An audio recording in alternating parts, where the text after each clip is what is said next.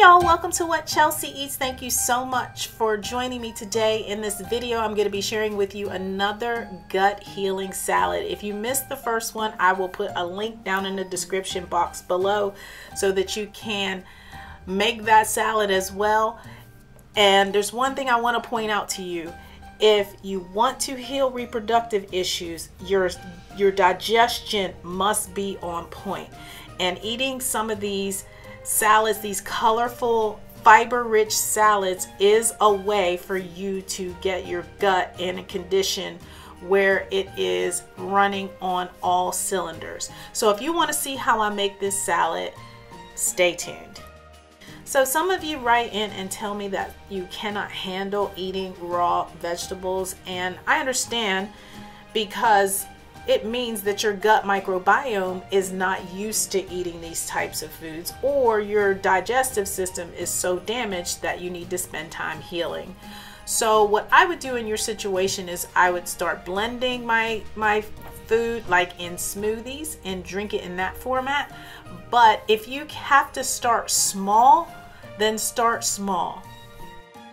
And then what you can do is build up to eating a big salad every single day. And when you eat big salads like this, especially in the beginning, you probably won't like them. I'm just going to be honest with you. That was my experience. But the more you eat them, you will start to crave them and you will like them.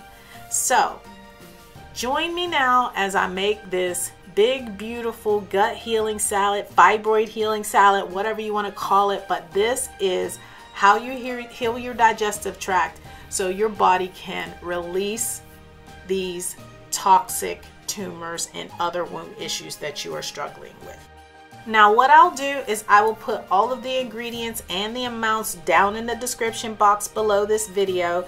And also I do not make a dressing with this salad. And the reason that I don't is because I don't need one for this salad. But you can use the dressing that I made in the last gut healing video for this salad as well.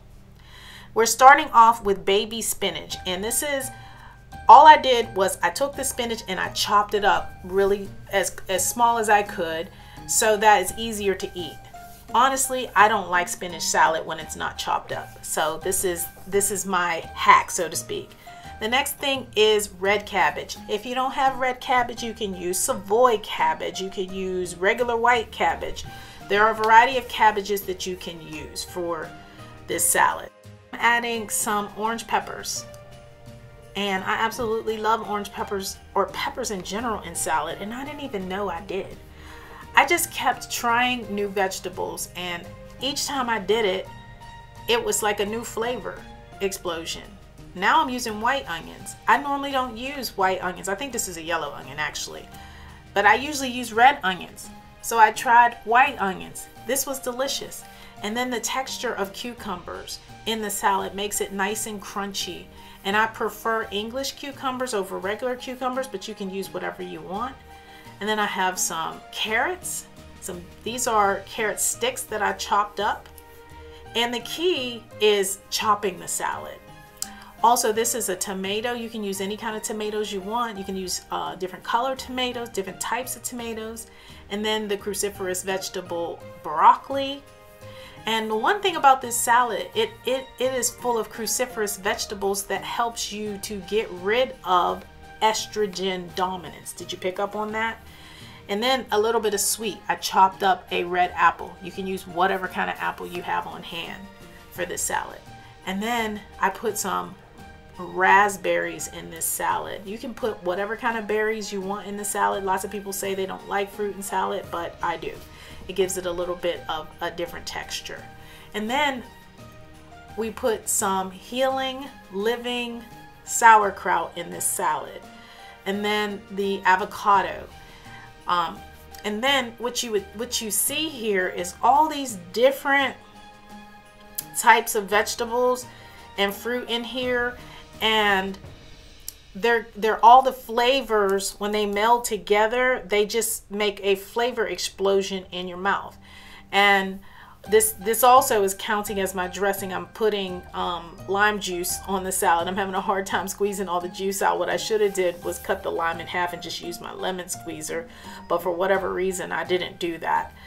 Um, but this is my dressing. The avocado, the lime, and the sauerkraut together. And then once I toss all these ingredients together, it was delicious. I didn't need any additional salad dressing. But if I did, I have some other dressings that I've made throughout the rest the, the week that I can put on the salad dressing, I mean on the salad.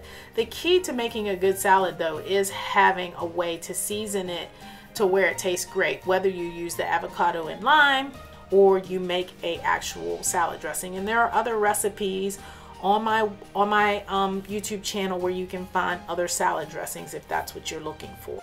And y'all know I love to season my salads, so there's some black pepper that I'm putting on top. But usually it's either black pepper or Herb Fest by Frontier that you can find on my website.